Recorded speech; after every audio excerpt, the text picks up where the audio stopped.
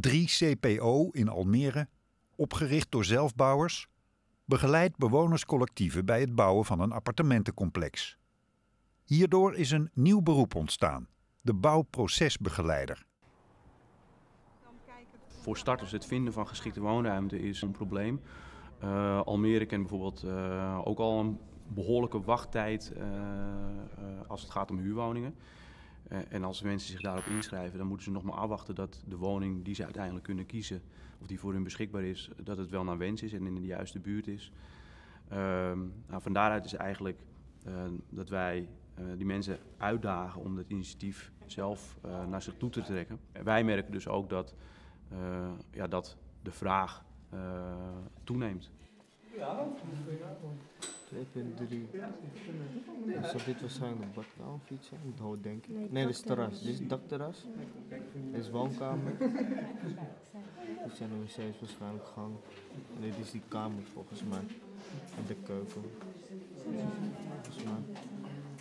Het ziet er wel leuk uit, toch? Ik word Um, er zijn een aantal uh, zaken waar je niet aan ontkomt. De buitenruimte.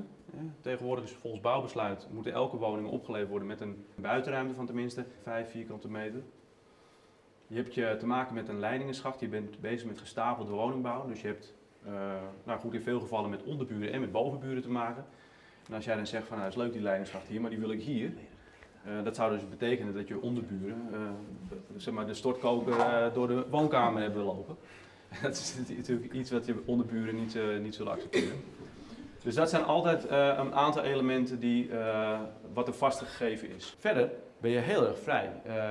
je zou bijvoorbeeld kunnen zeggen, van, nou, ik, ik, neem, ik leg, zet hier een badkamer neer en bij wijze van spreken zet ik, plaats ik hier het toilet en voor de rest wil ik het open laten.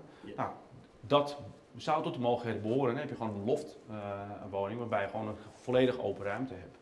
Heel belangrijk is, is de 70% om het zo maar te noemen. Eh, eh, dus in totaal 33 van de, van de 40 woningen eh, in optie. als die in optie genomen zijn, dan heb je een cruciaal punt bereikt. Want dan kun je gaan bouwen. En, ja, op dat moment is het dus zo dat er nog, nog één iemand een optie moet nemen en dan hebben we die 70% binnen. Ehm, het mooie is dat, dat voor de andere 30%, nou ja, je bent ook nog een jaar aan het bouwen.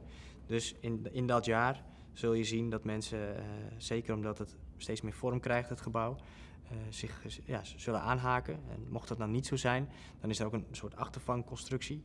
Uh, en die, ja, die houdt in dat, dat als het echt nodig blijkt te zijn, dat die 30% dan ja, opgevangen wordt door een partij die dan alsnog die appartementen gaat verkopen.